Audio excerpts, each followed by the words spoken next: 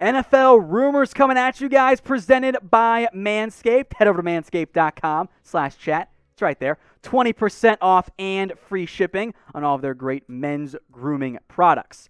Let's dive into those rumors now, beginning with a Zach Ertz trade. Maybe. So, NFL Network, Mike Silver, says that multiple teams have called about Zach Ertz, and a trade could happen in the coming days. Now, things are dicey for Ertz in Philadelphia because Dallas Goedert looked really good this past year and he outplayed Zach Ertz.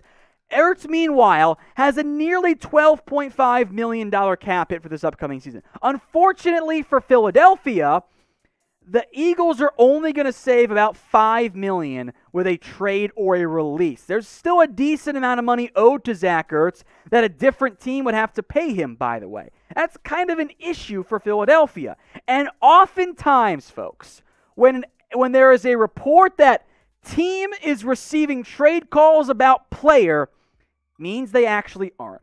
And it means they're trying to leak that, hey, we desperately want to move this guy. Someone come make us an offer, any offer. And I wonder if that's what's going on here with Zach Ertz. I know the Seahawks and Colts have been linked to Ertz, but with the way his contract is set up, I, th- I think it's a little bit more likely that Ertz actually ends up just getting cut by Philadelphia. A trade is possible. We will see if that happens, but the clock is ticking for Philadelphia.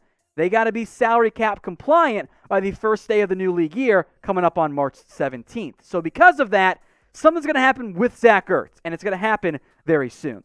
So, make your predictions then on what you think it's going to end up being. What will the Eagles do? Type T for trade and they'll find a partner, or type in C for, you know what, they're just going to cut him. He'll go somewhere else in the end. Let me know what you guys think in the comments. T for trade, C for cut.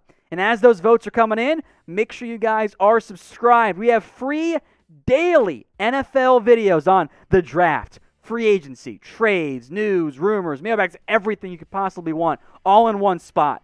So if you want to stay updated, hit that big red button and subscribe. That way you know what's going on in what could be a crazy NFL offseason. Let's go to Sam Darnold and a potential trade for the New York Jets. The Jets, uh, per Albert Breer, they're still taking trade calls. They're in no rush, though. Breer says eight teams have called, and what the Jets' plan is going to be is as Trey Lance and Zach Wilson and Justin Fields, as their pro days come this month in March, they're going to fully scout those top prospects. And once they've done their evaluations, they will make a decision on who they want at quarterback. If they want the heavily linked Zach Wilson, if they want Trey Lance, or if they want Justin Fields, they will simply take one of those guys at number two and move on from Sam Darnold. Frankly, I think a trade is in the best interest for both parties. If you're the Jets, haven't you haven't you seen enough from Sam Darnold? Even though he's young, even though he was a, a former high early top five draft pick, the guy we've seen in his NFL career has simply not been good. This is not franchise quarterback play. And yes, the situation for Darnold has not been good either. And if you're a team desperate outside the top 10 looking for a quarterback, Darnold might make sense to you. If you're the Jets, though, go with one of the younger unknown guys. If you're a team like one of these three that Albert Breer mentions as a potential fit, well, that might make more sense for you. The Bears, as we know, are desperate to find a quarterback. Washington doesn't have a starter. The Niners have been linked to Darnold since they appear to be uncertain with the future of one Jimmy Garoppolo. All three of these teams are unlikely to be in that Lance Fields Wilson range. So at that point, Darnold might make sense for them. The Bears are intriguing because, well, if you were to franchise tag A Rob and then give Darnold a, a, quarterback, that'd be the best playmaker Darnold's ever had. That that could work. And if you're desperate enough, you might give up a top 50 pick, which I think the Jets would love to get for Sam Darnold. So make your predictions for me now. In fact, this question is going to be the pinned comment on today's video. Where do you think Sam Darnold's going to play in 2021?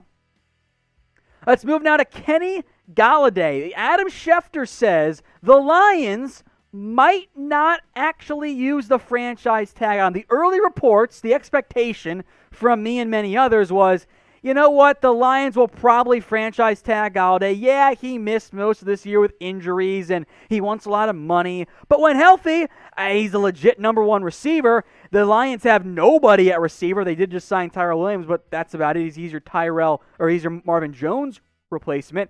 You need a, a number one. Golladay, meanwhile, wants a lot of money, which I think makes a lot of sense because he's a good football player. But you might be concerned about paying him that because of the injuries. Only five games this past year. But in 2019, he was awesome. 65 grabs, over a 1,000 yards, 11 touchdowns, won people some fantasy leagues as well. I like Golladay. I think he's a really good football player. If I'm the Lions, unless I'm rebuilding, in which case I'd probably try to tag and then trade him, which I think makes more sense. I'm not going to let Golladay leave for a future comp pick. I don't think that's in their best interest. But maybe they feel differently. And maybe you guys feel differently as well. So, what do you want to do with Kenny Golladay? Type K for keep or type in L for let leave. Now, today's show is made possible by Manscaped. You can head over to manscaped.com slash chat. When you use that URL, it'll get you two things. Number one, 20% off on all their products, everything. So you're saving some money. And you can save some extra money by getting their free shipping when you use that URL, manscaped.com slash chat. It will be in the comments and in the description as well. You can get all of their great men's grooming products, including the Lawnmower 3.0. It's the best men's grooming tool for, you know, the nether regions, if you will. Keep it nice and shaved down there because let's be honest, if it's gross and hairy, not going to smell that great. No one wants to put their head down there. It's gross. Use Manscaped's Lawnmower 3.0. You get the perfect package, for example, which gets you the lawnmower plus uh, these comfortable boxers, a traveling case, some ball toner, ball conditioner, all kinds of stuff. It's a great product at a great price at manscaped.com slash chat. You can get the perfect package, save 20% off, and get free shipping there in the process. Once again, folks, you'll put that link both in the comments and in the description. That way, all you have to do is go click shop and figure out what you want to get today. Moving now to Ryan Fitzpatrick, where things are interesting here. Um, so, John Clayton had said that it looks like Ryan Fitzpatrick was going to retire. That the Broncos, we'll, we'll get to here in a second, made some contact, but the Fitz is going to retire. Then today, Ian Rapoport comes out and says, nope, he's going to play this year. He's planning on, and there will be a market for his interest. So, two different reports, and frankly, I'm a lot more inclined to go with Rapoport because the Clayton one doesn't make sense to me. Fitzpatrick can still be a strong option as a veteran stopgap quarterback who can help mentor somebody younger, which is why I think he makes perfect sense for a team like the Denver Broncos, unless he wants to try and start somewhere with maybe a Washington Patriots, for example. Here was Clayton's quote. Fitzpatrick looks like he's going to retire. The Broncos did make some contact with him, which technically you cannot do, but it's tampering, so it's fine. Uh, he's been with eight teams for a long time. Looks like he's going to be out of the mix. So the Denver part, I, I am inclined to believe from Clayton. I don't think he's going to retire, though. I don't look. Fitzpatrick is not a franchise quarterback anymore. We know that. We know that he is no longer going to be the guy that's going to carry you to the Super Bowl or whatever, or be anything other than a stopgap for the time being. But you might be able to have enough success to where if your coaching staff's in some trouble, he might be just good enough to buy you time to go find your future guy. Look, I think in terms of the top free agent quarterbacks, it's clearly Dak Prescott. And then I guess it's Fitz because the other options are uh, Jameis Winston, who's kind of a, much of a gunslinger as Fitzpatrick is, Andy Dalton, who's like fine, but he's just a backup type. Mitchell Trubisky is not that good. Cam Newton was once an MVP, but eh, he looked kind of washed this year for the Patriots. Tyrod Taylor, Jacoby Brissett, two solid backups, but they're more in the Dalton range than anything. And then C.J. Beathard and Colt McCoy, those guys aren't aren't good football players. Not someone you're like, oh yeah, now we're set at starter. Of the guys who could start, Fitzpatrick is intriguing. Now I do think he wants to find a role where he can start. I don't think he wants to go full fledged Josh McCown and just mentor a young guy and move on and go be a coach at some point. I think he still wants to play. So, with that in mind, make your prediction for me. Where do you think that Ryan Fitzpatrick will sign in 2021? Is it back with the Dolphins? Is it a team like the Denver Broncos? Is it somebody else altogether? Make your predictions for me in the comments section where you think Ryan Fitzpatrick will sign. The NFL franchise tag deadline is supposed to be on March 9th.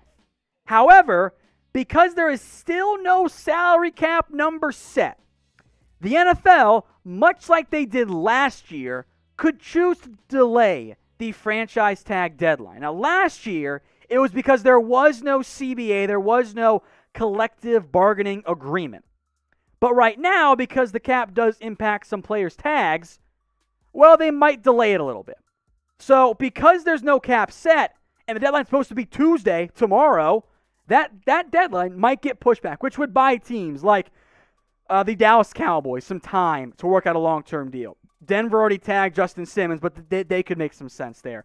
The Packers and Aaron Jones, all these teams that could be in the market for adding or tagging a player are going to buy themselves some extra time. Now, I do want to make, make one note here on the salary cap in general. The NFL has zero reason to not make the cap flat. Because if you're an organizational team and you're trying to win football games, your best bet, unless you've got God's cap, which is like five teams out there, your best bet to winning th- this year is a higher salary cap because that means you don't have to cut so many players. So if the NFL and the ownership pushes for a lower cap, which I think they are, I believe it's because the owners are getting a little bit greedy and want to pocket a little bit more money. The TV money's coming. It's going to explode the salary cap. Don't let it dip this year. Keep it flat, borrow from the future if you need to, but that's the route I would go if I ran the NFL.